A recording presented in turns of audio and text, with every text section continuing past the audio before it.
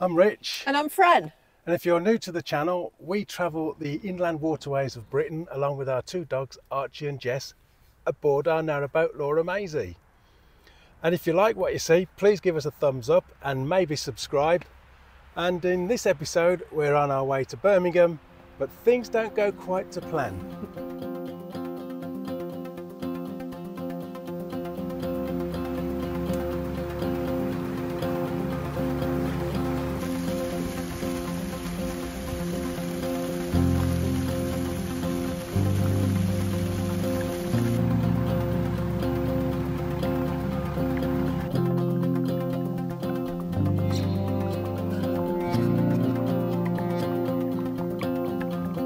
We've just come through Stewpony Lock.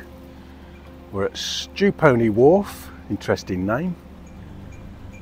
And uh, we're waiting to fill up with water. There's a boat in front filling up. So when they've finished, we will proceed just up the canal, 100 yards or so, and turn right onto the Stourbridge and Dudley Canal system, which we've never done before. And Francis, what's going on down there? It like interview then. We proceeded in an easterly direction up the canal. See what I have to put up with, folks. anyway, look, we've just picked those salads off of the roof. And we're having some salad and marmite wraps for lunch. Oh, Marmite. you either love it or you hate it, apparently. The first leg of our journey today sees us leave the Staffordshire and Worcestershire Canal on the Stourbridge arm for just three miles and four locks to the town of Stourbridge in the West Midlands. So here we are at the junction of the Stourbridge and Dudley Canal. Fran's bringing the boat in and we've just got four locks to do before we moor up. And joy of all joys, it started to rain, even though the weather forecast said no rain today. Hmm. And they're really close together, these locks, so I've popped up to empty this one, open it up so Fran can come straight out of that one into this one.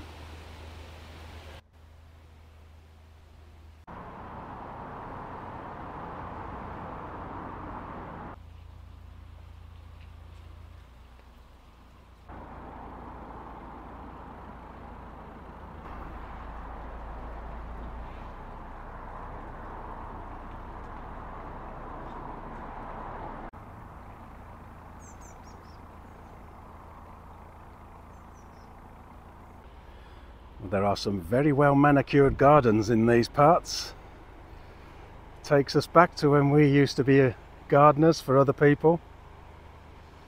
Can't say we miss it. Do miss doing our own garden though. Through the Virginia. Do you like Virginia? Yeah, do, uh, yeah, yeah. It's good ground cover, isn't it?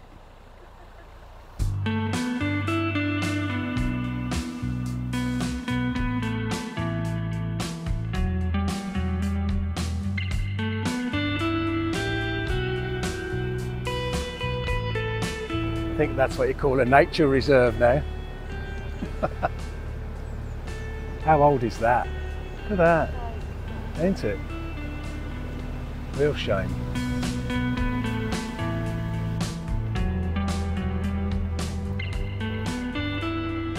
You come in, Jess.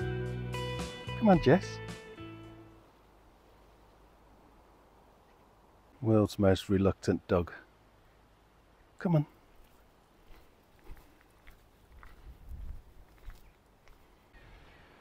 Not a bad spot. That's us done for a couple of nights.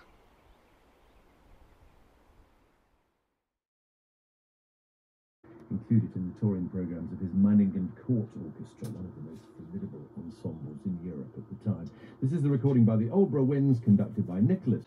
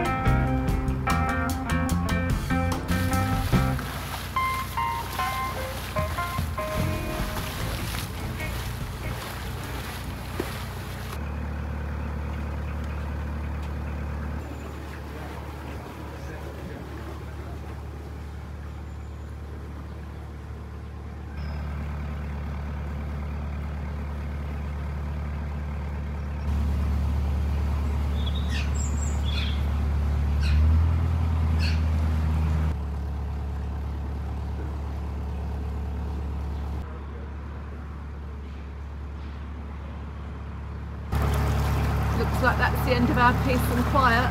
Yeah, that's it. Back in suburbia for a couple of weeks.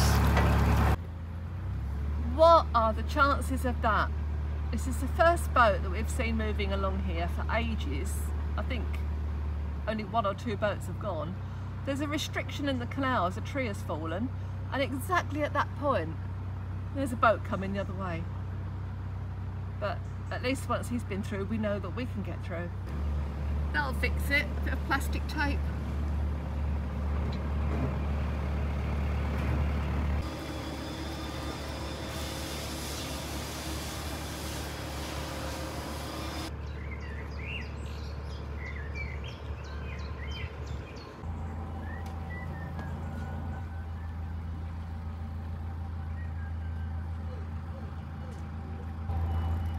Nice tight one, Rich. Say that again.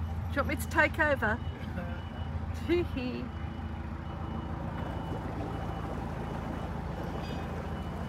Apparently there's a turning point at the end.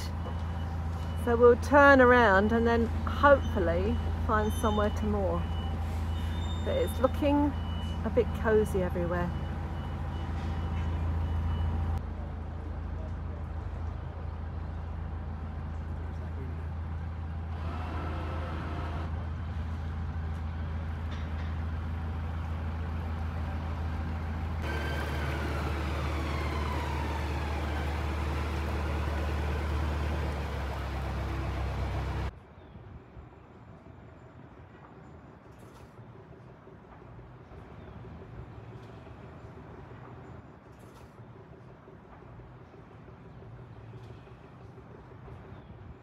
This wonderful old working boat is being restored by viewers of the channel, who, when we got married almost five years ago, sent us this beautiful traditional wedding gift, handmade by themselves. And as you can imagine, I've forgotten their names already. But anyway, thank you so much for this wonderful gift that we'll treasure forever, and good luck with the restoration.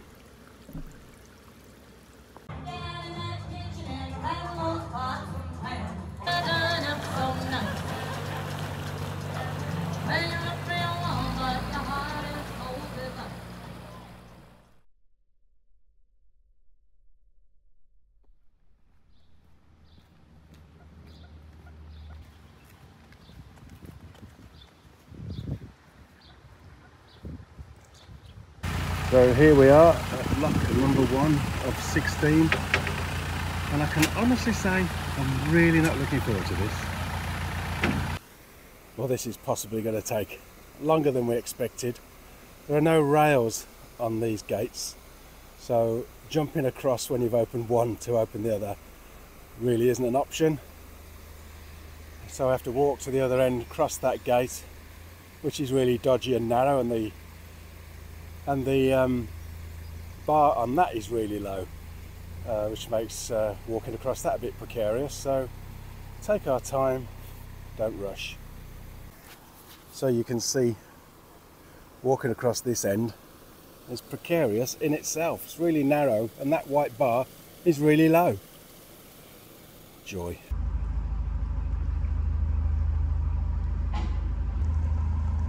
Stourbridge is famous for ornamental glass making since the 17th century. Sadly, these days there are but a handful of makers continuing the tradition. The museum, which gets no government funding, has regular demonstrations of glass making. The canal along here is lined by these lovely apartments and flats and they look to me as if they've been rebuilt from old mills. Really, really nice. That's what they should be doing with these old buildings. I wouldn't mind one of those actually with an allotment. How's it going then?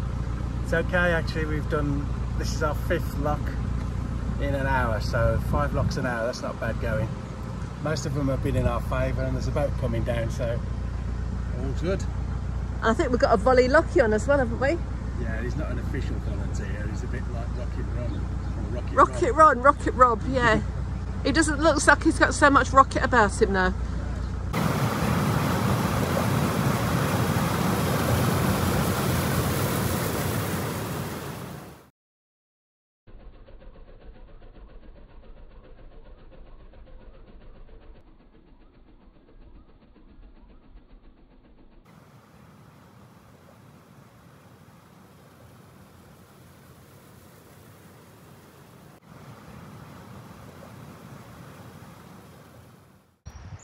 Just over halfway up, stopped for a coffee break.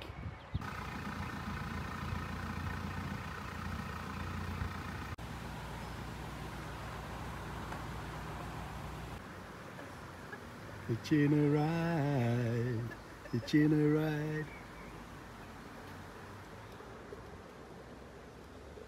Right, there we go. Last one of the day, number one. These last three or four locks have been really deep ones as well. Still, good day's work. It's about four, four and a half hours, including a stop for a copper halfway through. I haven't let Fran work any of these locks. She's driven the boat through all of them. They're so precarious to get across. Ooh.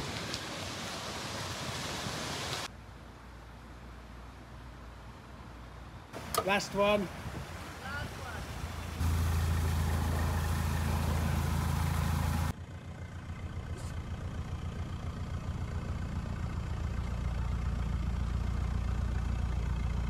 So this is the limit of the navigation of the Stourbridge Canal. Straight ahead is not navigable, so we're going to turn left down this little tiny arm, which is supposed to be very weedy, but possible to moor. Um, and we might have to reverse out if it's no good. We will see. Don't Go- like it. We're going backwards again. Yeah, I don't like it. Just don't feel comfortable here. Sometimes you just don't feel right. I mean, there's no sign of anything being wrong, but neither of us feel comfortable. Comfortable down here. No. There's, there are mooring rings here, but the way out, the only way out from that mooring is through there, through the woods into an industrial estate, I think. Um, Just got to go by your gut reaction, haven't you? You know, it's just. Yeah. Uh, at the end of the day, it's probably okay, but I wouldn't sleep very well. you know what I mean? So. I mean, it's it's only two o'clock, so if the worst comes to the worst, we've got another set of locks to do. But we can, you know, there's no reason why we couldn't do that if we have to. But uh, yeah, at the moment we're going back. We've hit a problem. We're really well and truly stuck. There's something big under the prop. We can't turn the engine at all because it sounds like it's a shopping trolley or something right under the prop. Rich is trying to pole us, but it's just like soft mud. We can't move. The best we could do is hope to get a rope to the front of the boat and pull it. But there's nobody about. There's nothing we can do at the moment. I don't know what we're going to do. So Rich is trying to pull the boat into the bank now so that um, at least he can get the rope and pull us into somewhere maybe away from whatever's under the prop.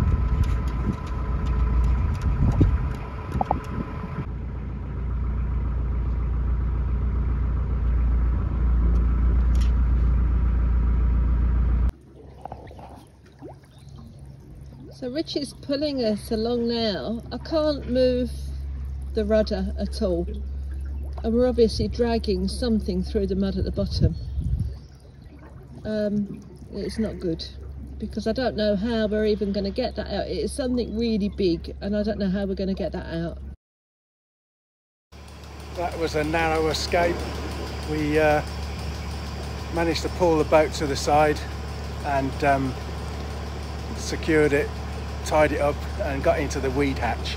And a bloody shopping trolley was wrapped around the prop. Fortunately, we uh, managed to stop the engine just in time before it did too much damage and uh, managed to push the shopping trolley off. And uh, then we pulled the boat further forward using the ropes, got it clear of it, and uh, we've um, had a close shave, to say the least. So not finding anywhere we're happy to moor up, we decided to continue, and now we're at Delph Locks, a flight of eight. So we're just about to start that, and waiting for Fran to bring the boat into the first lock. So when we get to the top of this, that'll be 24 locks in a day. Not bad.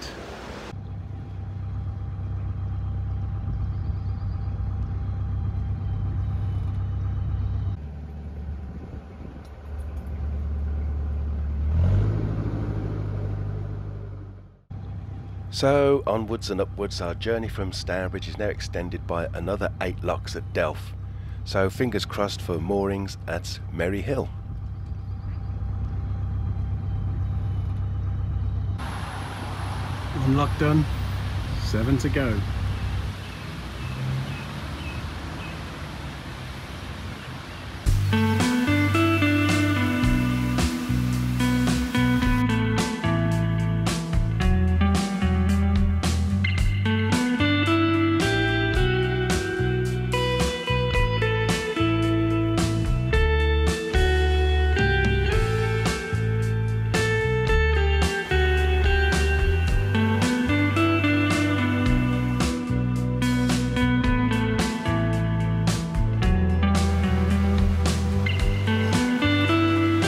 Disused arm just before the last lock.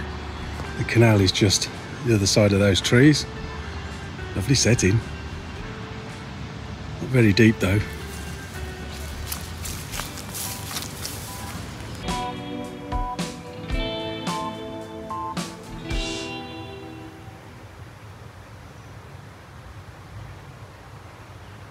Well, that's that. 24 locks what turned out to be a bit of an eventful day. There's lots of opportunities to moor here with rings, but there's street lamps all the way along and not a boat in sight. So I don't think we'll be stopping here. That retail nightmare, Merry Hill Centre Next, Argos, M&S, Primark. No thanks.